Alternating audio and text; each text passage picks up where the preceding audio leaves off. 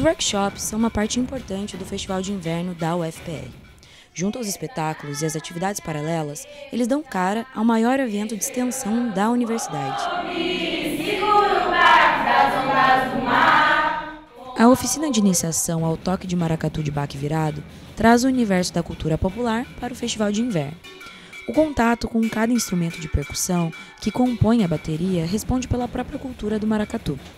A Bruna e a Tainá são batuqueiras do grupo Omoami desde 2013 e fundaram o Baque Mulher Matinhos, que percorre caminhos entre a música, a dança e a cultura popular. O grupo surgiu como uma atividade curricular da universidade, mas hoje ele não está mais vinculado à universidade, ele está é, ele está mais vinculado à comunidade mesmo matinhense. A gente tem algumas atividades que a gente promove na Associação de Moradores do Vila Nova e também na praia. É um grupo aberto, a gente ensaia todos os domingos, três horas da tarde, na, na praia, lá em Caiobá. A proposta da nossa oficina é iniciar as pessoas que não conhecem o maracatu ou que conhecem um pouco de maracatu para que elas iniciem o toque do maracatu do, baque virado, que é um toque específico né, de duas nações que a gente está passando, que é Porto Rico e Encanto do Pina.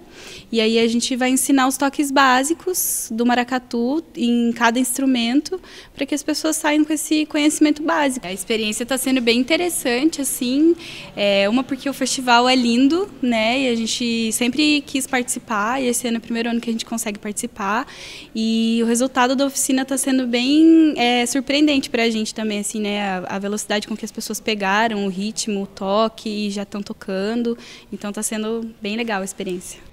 Os workshops do festival oferecem a oportunidade de aprimoramento para aqueles que já tiveram contato com a temática e também são um espaço de descoberta para aqueles que se interessam e querem explorar diferentes expressões culturais brasileiras.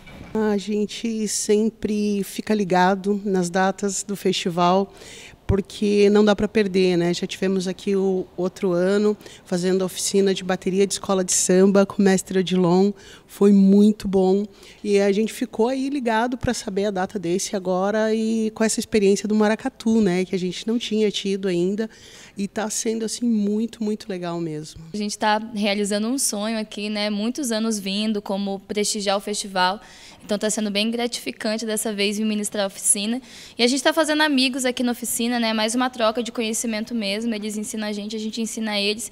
E tá, no final vai virar uma grande festa, é isso que eu já estou vendo, que o pessoal já saiu, já está pegando os instrumentos e domingo a gente vai apresentar um pouco do resultado da oficina aí no último dia do festival.